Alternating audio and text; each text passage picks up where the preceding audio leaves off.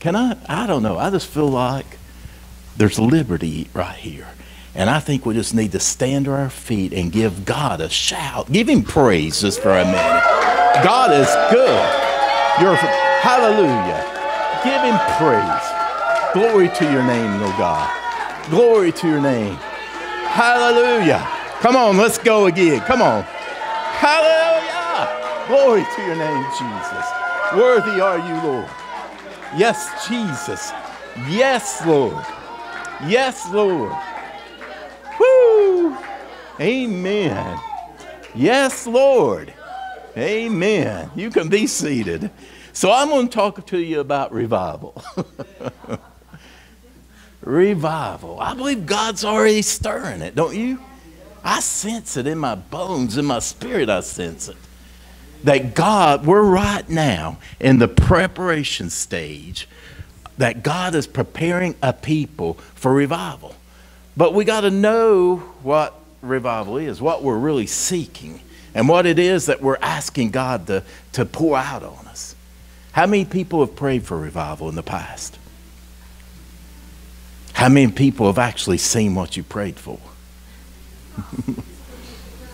Not maybe a little bit, maybe some. Maybe part of the reason is we didn't really know what we were praying for, didn't know what we were asking for.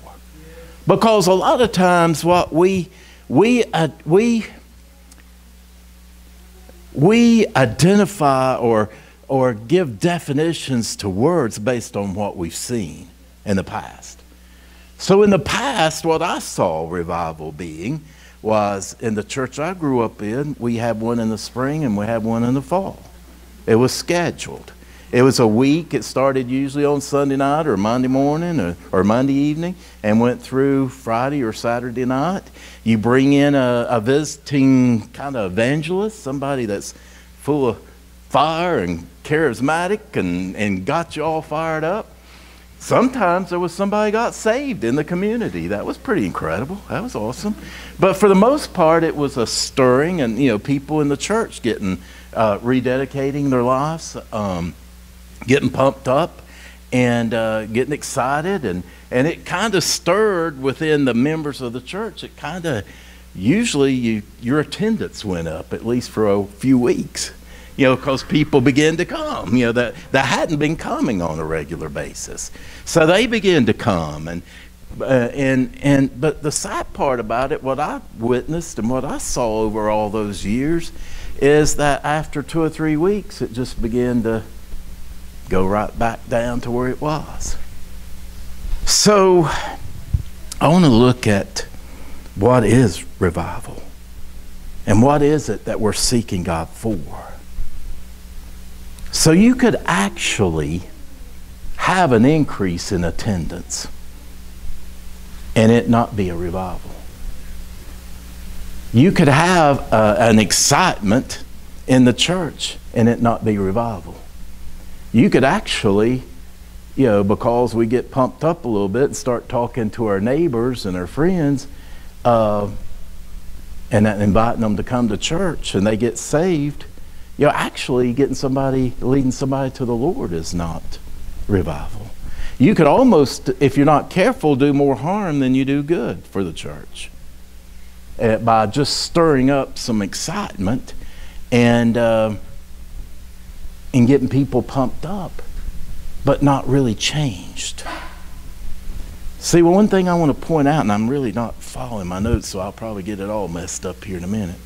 But I'll start somewhere and try to, I'll probably hit some of this again. But one of the things I want to make sure we understand is, you know, the fastest, if attendance defines a revival, then the fastest growing religion in the world is Islam. Well, we know that's not a true, even religion.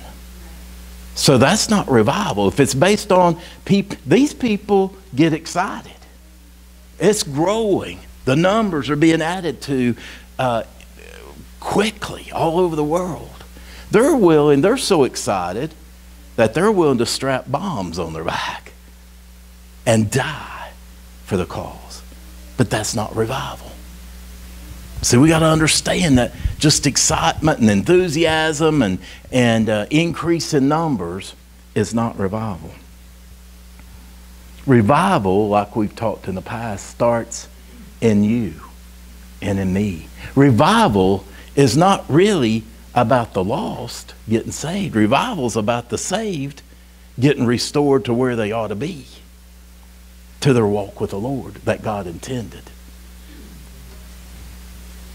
A corporate revival will not be or happen until an individual revival happens.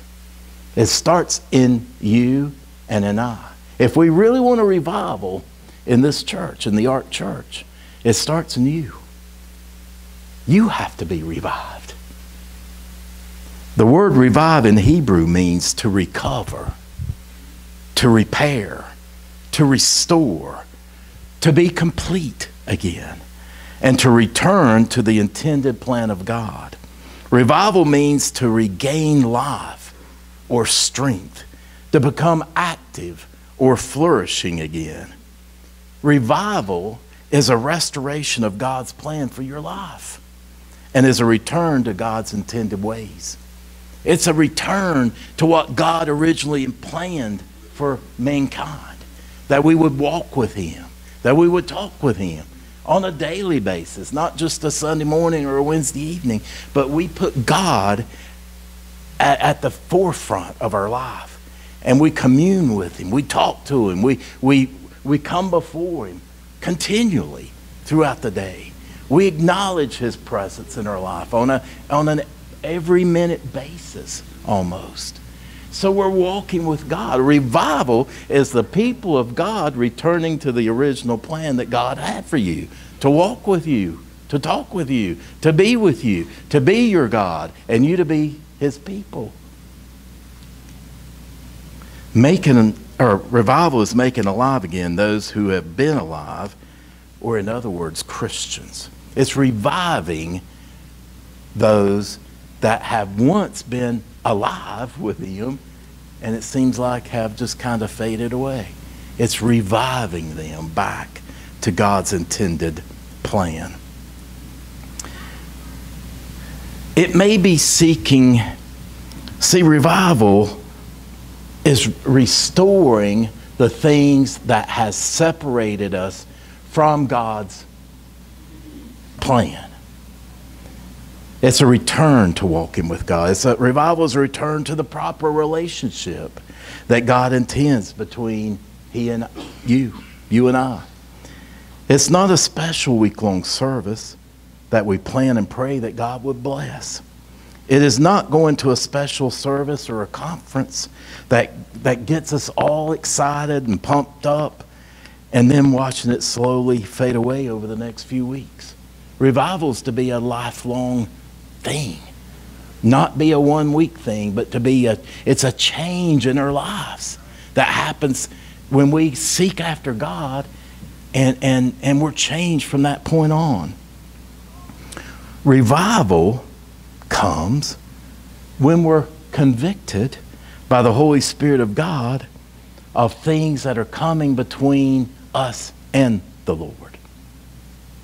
True revival comes when we're changed by allowing the Holy Spirit to permanently transform our lives.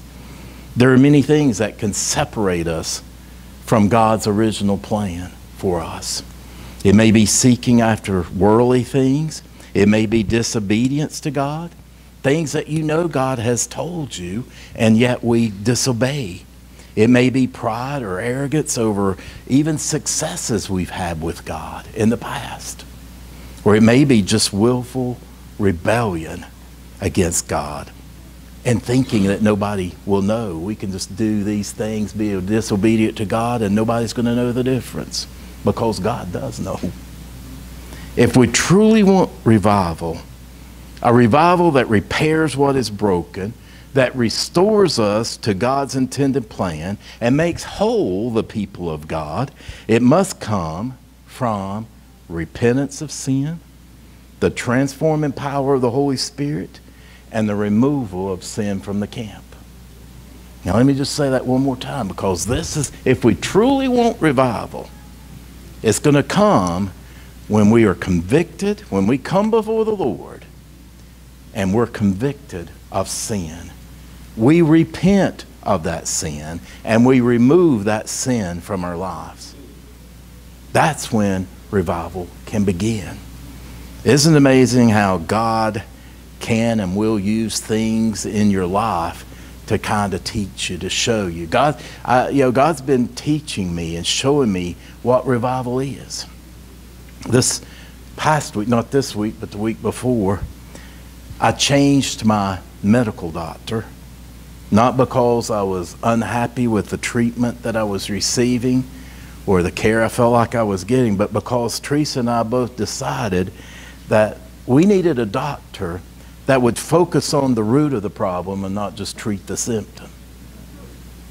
So, what I found through the last several weeks of, of doctors and, and you know, sickness and so forth is that doctors typically, what I'm, at least for the most part, what I'm finding is they just treat a symptom.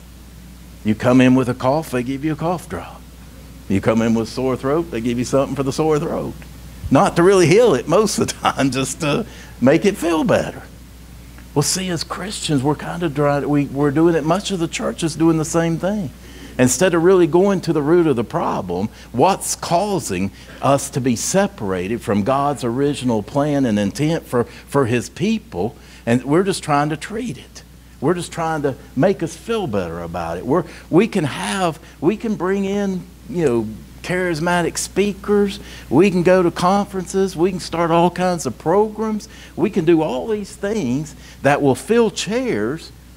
But is it changing anything? Are we truly returning? Are we being changed? Are we truly going, getting back to the place that God intends with, for, for me to be? Or am I truly beginning to be changed, repenting of my sin and, and dealing with the sin that's in my life, and then seeking God for a closer walk with Him? See, the problem, the root of the problem that most churches are facing, including, I will even just say us, if we're not walking close with the Lord, on a 24 7 basis. The problem is sin. That's the root of the problem. So we have to, you know, I feel like I'm this doctor up here this morning say, listen, let's get to the root of it. Let's deal with this thing and not just put a band aid on something and let it continue to get worse and fester and get, uh, get, get infected. Let's treat the symptom and then let's walk with God the way He's intended us to walk. So, the thing I had to really ask myself laying there in the hospital is Am I going to continue to live and do the things I've been doing, or am I going to allow the doctor, am I actually going to take his advice and do what he tells me to do and, and, and treat the problem? Or am I just going to try to feel a little better and then go on about my life and, and do the same old things that'll ultimately get me right back to the same place? So, as a church, we got to decide the same thing. Are we going to just try to you know, treat some symptoms? Or are we going to listen to the conviction of the Holy Spirit and do what He says to do and be changed? If I want change in my spiritual life, in my walk with the Lord, then I got to admit that I've got a problem, first of all. I got to admit that I'm a sinner, that I've got sin that needs to be dealt with. I need to repent before the Lord and actually do what the Holy Spirit tells me to do to get it out of my life. We can pray for revival. We can bring in entertaining worship. We can bring in motivational speakers. We can attend conferences. But if we're not careful, these are simply treating the symptoms of our sin. Or we can, by the help of the Holy Spirit, get to the root of the problem, which is sin, and deal with it. We could focus on growing in numbers. We could add programs that would help us grow in numbers. But what we truly, really need is the Holy Spirit to convict us. And then we need to repent on what is hindering us from walking with God the way we should. Over the last few weeks, God has been really talking to us and convicting us about getting the sin out of the camp and returning to the agape love that we are to have for God and for one another. In Joshua chapter 6, I'm going to go to Joshua chapter 7, but I'm going to lead you up to Joshua chapter 7. And in chapter 6, the children of Israel have just crossed over the Jordan River. They, they went before the Lord. The Lord gave them instruction on how they're to do this. That, and before they just went charging across the river, they went before the Lord and said, Give us instruction. Tell us how we're to do this, how we're supposed to go about doing this. The Lord gave them very specific instruction, and they followed that, that instruction, and they were very successful. They were blessed by God because they did what God told them to do. Now, in chapter 7, they're facing another hindrance to the promises of God that's blocking them from their intended purpose and promise of God. It's Jericho. Now here they are at Jericho. So they go again before the Lord and get God's specific instruction on how to address this enemy. See, isn't that such a thing that we, instead of just saying, well, I think we ought to do this, let's go here, let's do that, let's, uh, and should, would we, should we not just come before the Lord and say, God, what should we do now? We're facing another hindrance, maybe in our walk with God. Instead of us just trying to, in our own mind and strength, deciding what we need to be doing as a church or in our individual life, should we not just come before the Lord and say, God, how do we confront this mountain that's in front of us now? God, I'm sure if the children of Israel had done it in their own power, not sought God, well, they wouldn't have went to Jericho and started marching around the city seven for seven days. They would have just went and attacked and probably would have been defeated. But they got the instruction from the Lord that didn't even make sense in the natural, but yet it worked. God blessed it because they followed his instruction.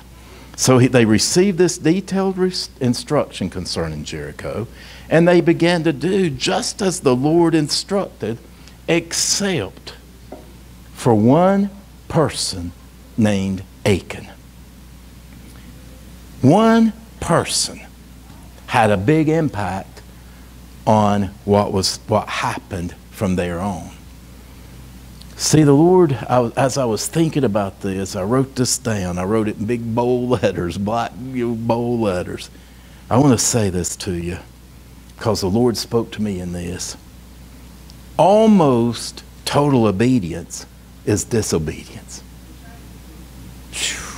You can 99% get it right and not do one little thing that the Lord told you to do, and it's disobedience.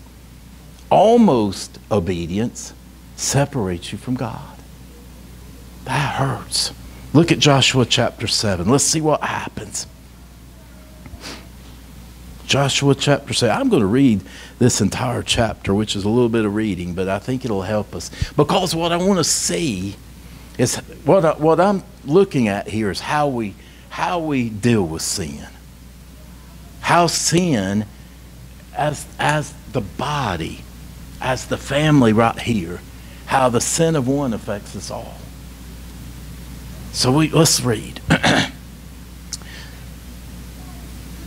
So, so they've been to Jericho, the walls fail, and now they've got another, they've confronting another enemy. So let's see what happens. But the children of Israel committed a trespass against the accursed things, for the one guy, Achan, the son of Carmi, the son of Zabdi, the son of Zerah, of the tribe of Judah, took of the accursed things. So the anger of the Lord burned against the children of Israel. Now Joshua sent men from Jericho, and this is pronounced I, even though it says Ai, it's pronounced I, which is beside Beth Aven, on the east side of Bethel, and spoke to them, saying, Go up and spy out the country. So notice here again, he instead of going to the Lord, they sent people. They sent some of their soldiers and said, Let's go check out and get a plan. This is one of their first mistakes here. Instead of they up to this point they had sought God on what they should do and how they should do it. Now they're getting confident in their successes, which we have to be careful of, and begin to do it in their own power. So okay, so so saying go up and spy out the country. So the men went up and spied out. And they returned to Joshua and said to him, Do not let all the people go up, but let about two or three thousand men go up and attack Ai. Do not weary all the people there, for the people of Ai are few. This is the direction of man, not the direction of God. So about 3,000 men went up there from the people, but they fled before the men of Ai. And the men of Ai struck down about 36 men, killed 36 of the Israeli Jewish people, soldiers, for they chased them from before the gates as far as Shebarim and struck them down on the descent. Therefore, the hearts of the people melted and became like water. Now, let's look what Joshua does. Then Joshua tore his clothes, and he fell to the earth on his, on his face before the ark of the Lord until evening, he and the elders of Israel, and they put dust on their heads. Look what Joshua begins to do. It's so disappointing in a way. Here, they haven't even sought the Lord, and then look how he comes belly aching and complaining and basically blaming God. He says, Alas, Lord God, why have you brought this people over the Jordan at all to deliver us into the hand of the Amorites, to destroy us? And he's like, Why did you even bring us over here? Why did you do this to us? Oh, that we had been content and dwelt on the other side of the Jordan. O Lord, what shall I say when Israel turns its back before its enemies? For the Canaanites and all the inhabitants of the land will hear it and surround us and cut off our name from the earth. Then what will you do for your great name? I mean, it's like, it's all God's fault. And look, you're going to be, you're going to pay the price for it. So the Lord said to Joshua, Get up. I love that. Here he is laying in the floor praying, which you would think would be the right thing to do when we're kind of separated from God, crying out to God, blaming God, uh, you know, just belly aching. And God says, Get up. Uh, you know, I, I feel like he said, I don't, I, I don't want to hear your prayers right now. He says, Get up, sanctify the people, and say, Sanctify yourselves for tomorrow, because thus says the Lord God of Israel, There is an accursed thing in your midst, O Israel.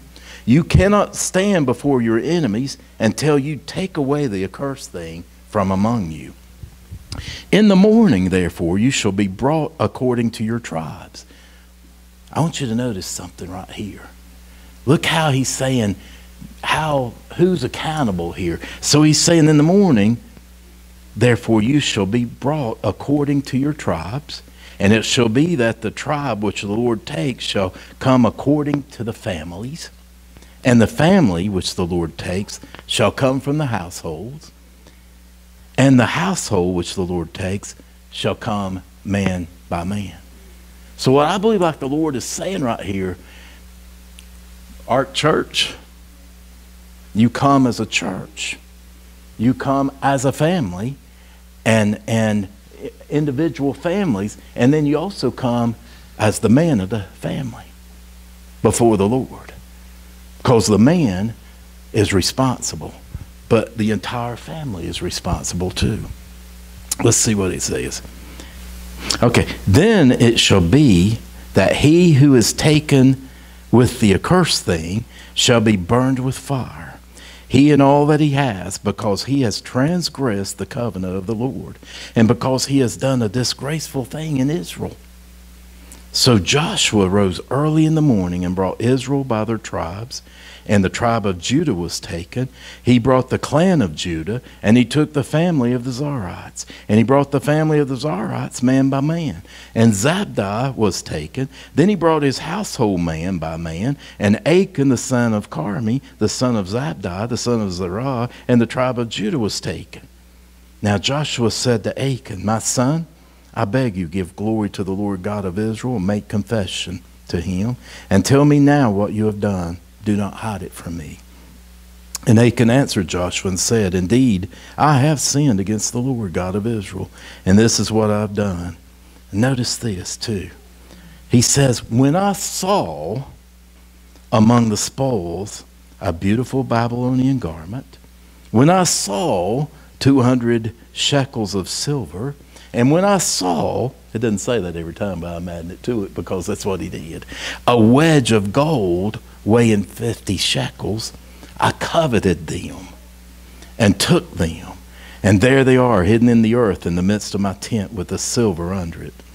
So Joshua sent messengers, and they ran to the tent, and there it was, hidden in his tent with the silver under it. They took them from the midst of the tent, brought them to Joshua and to all the children of Israel, and laid them out before the Lord. Then Joshua and all Israel with him took Achan the son of Zerah, the silver, the garment, the wedge of gold, his sons, his daughters, his oxen, his donkeys, his sheep, his tent, and all that he had, and they brought them to the valley of Achor. In other words, outside the camp. And Joshua said, Why have you troubled us? The Lord will trouble you this day. So all Israel stoned him with stones, and they burned them with fire after they had stoned them with stones. Then they raised over him a great heap of stones, still there to this day. So the Lord turned from the fierceness of his anger. Therefore, the name of that place has been called the Valley of Achor to this very day. Thank you, Lord. So God told the children of Israel not to take of any of the accursed things. It was very plain. And Joshua told them as well what God had said. You're not to take anything. There's some things that are going to be set aside for, for worship, and then the rest of it is going to be burned and destroyed. Don't take it. Don't be it. Don't touch it. Verse 1 of chapter 7 tells us that the children of Israel committed a trespass. So I find that interesting that Achan was one individual, but it's like the whole, God looked at the whole nation, the whole family. It says the, that the children of Israel committed a trespass because Achan, one individual, took of the accursed things. So the anger of the Lord burned against the children of Israel, and they were defeated at Ai. Verse 6 tells us that Israel had, was defeated, and Joshua tore his clothes, fell upon his face before the ark of the Lord, and the elders with him, and they were putting dust on their face, crying out, you know, probably hollering, screaming, and carrying on. Just like the children of Israel, when we realize sometimes that our walk with the Lord has been hindered, we begin to cry out to the Lord. We start praying and begging God, maybe even to send revival, thinking that if we cry out loud enough, hard enough, and long enough, that He will persuade God to return his blessings to us. But instead of praying and crying out, God told Joshua in verse 10 to get up. So before we begin to pray and cry out to God to bless us, we need to confess our sin. We need to repent before the Lord and get the sin from among us. And we got to be changed. God said, Get up. Why do you lie thus on your face? Israel has sinned. Verse 13, the Lord says to get up, quit praying, and sanctify yourselves because there's an accursed thing in your midst. And you cannot stand before your enemies until you take away the accursed thing from among you. So, first things first is what God's saying. There's an order that we got to get right before we just start praying for revival.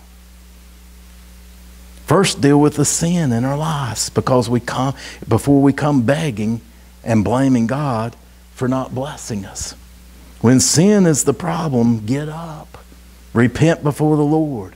Remove the sin from our midst. Set ourselves apart for God's use. Be obedient to what He tells us to do.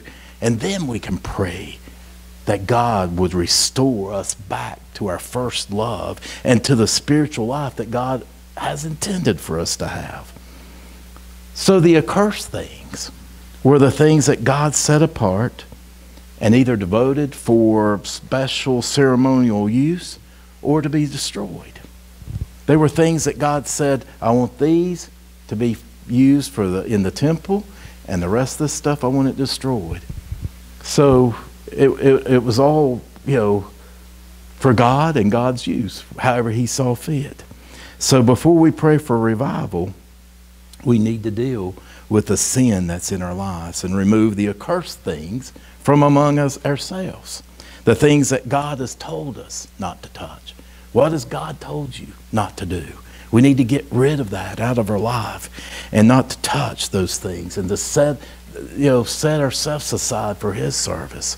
For you and me, the accursed things represents anything in our life that is contrary to the will of God, contrary to His Word, and anything that brings disobedience and sin. So I just, I, you know, I just want us to to understand this, to pray and beg God for revival, to come upon a backslidden and disobedient church is a waste of time and effort. You know, we got to get first things first. A move of religious activities could add numbers in our attendance, but God is really not interested unless the people come under the obedience and the lordship of Jesus Christ. It's when we come completely under Him and under His authority, then, that, then our walk with God can be restored. God will restore what is broken, and He will make us whole again when those who are of the family of God allow the Holy Spirit to change us and when we begin to live holy lives. Achan, whose name, by the way, means trouble, disobeyed what he knew to be God's will. By his own confession, he took some of the accursed things for himself, thinking that no one would know it, that it wouldn't have any impact on anybody. Nobody's going to know the difference. But in verse 15 of chapter 7, God calls Achan's sin a disgraceful thing, and because of his sin, Israel was defeated at Ai. The first thing we should notice about Achan's sin is that the Lord was angry not just at Achan, but against all the children of Israel. It almost doesn't seem fair. But God held the nation responsible because Israel was one people and one family under God. When one member of the family of God broke covenant, the entire family's relationship with the Lord was broken. And today, even with the church, there's a similar bond that exists among believers and among God's church. We are the body of Christ, and Jesus Christ, the Bible tells us, is the head of the church. What we must recognize is that when one part of the body of Christ sins, the consequences extend beyond just that one part of the body. It goes to the entire body. When Achan sinned, 36 soldiers died because of that one man's sin. The apostle Paul tells the church at Corinth in 1 Corinthians chapter 5 verse 6. He says, "Do you not know that a little leaven leaven representing sin. Do you not know that a little sin leavens the whole lump? Therefore, purge out the old leaven, that you may be a new lump. A little leaven leavens the whole church.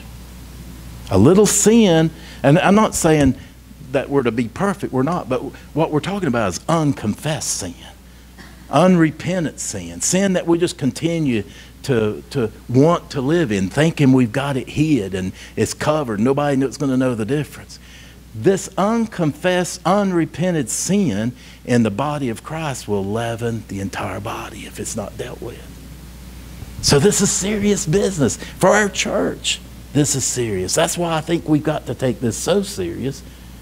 Is not that we got to live perfect and be perfect people, but we got to deal with our sin. We got to confess our sin. When the Holy Spirit convicts you of sin, deal with it. Repent of it. Come before the Lord and get it out of the midst of your life. We must understand that as members of Christ's body, we're one unit. We're one family. God called this church from the very beginning to be a family. We're one family. A little leaven leavens the whole lump. We belong to one another. We need one another. And what happens to one affects every one of us. So it's not just you, it's not just me. When I sin that it affects, it affects all of us. In verse 21 of chapter 7, we can see how Achan's sin progressed. This is how sin works. And it's so true. It says, number one, he saw. He began to look at the garment. Look at the silver. Look at the gold. It was like his focus became on, this, on these things. And then it says he coveted. And then it says he took. And then it says he died. And we know the wages of sin is death, right? James chapter 1, 14 and 15 illustrates this very truth. It says, But each one is tempted when he's drawn away by his own desires and enticed.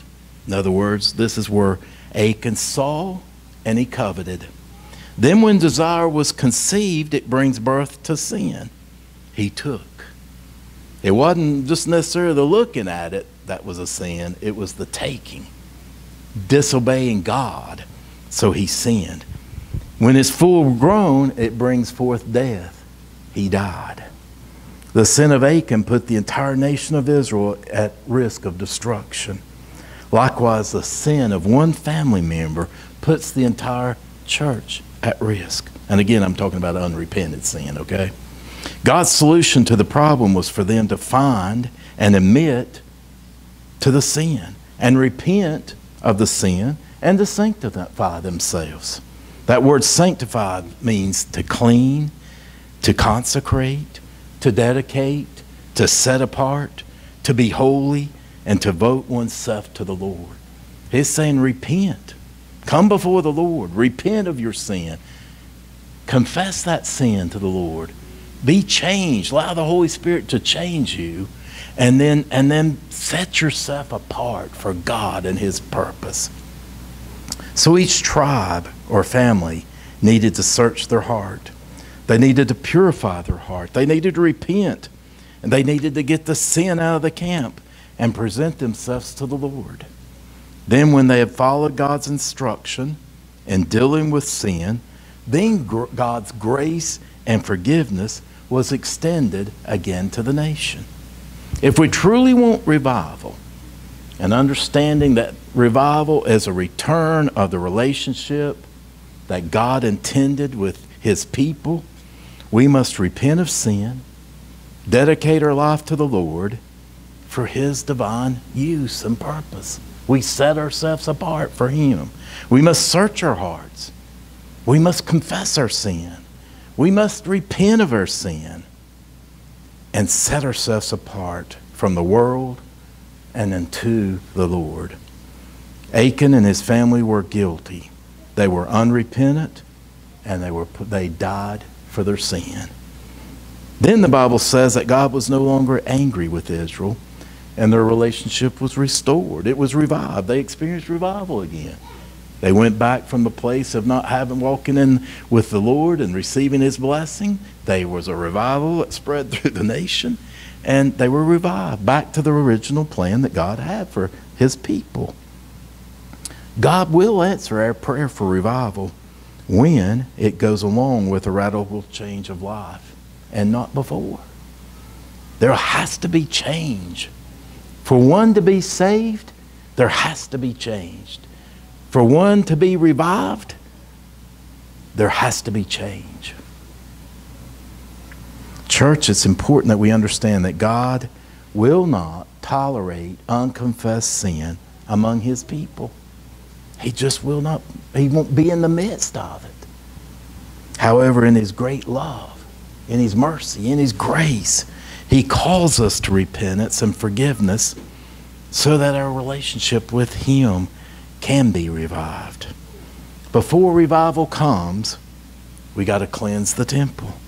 We got to come completely under the authority of our risen Lord and Savior once again. Then we can pray Then we can ask God and expect true revival to follow. God is extending, I believe, an invitation for the Ark Church to come to an unknown place, a place we've never been before, a place we've never walked with with God. We've never walked, I don't think, where the, in the place that God truly wants us to walk with Him. It's a place of revival. It's a place of the restoration of God's intent for His bride. It's a place of His presence like we've never experienced before. It's a place that God intends for mankind and that, that is intended from the very beginning. And it's a place that we've never experienced before. But first, we got to do like David did in Psalms 139, verse 23 and 24. He cries out and he asks God to search us and know our heart, try us and know our thoughts, and see if there's any wicked thing, any wicked way in us, and lead us to life everlasting. See, that's the place I believe we can start as a church. God Search us. Try us. See if there's any wicked ways in us. Reveal them to us, Lord. Because we want to repent. We want to come before you. We want to change. We want the power of the Holy Ghost to change us, to bring conviction.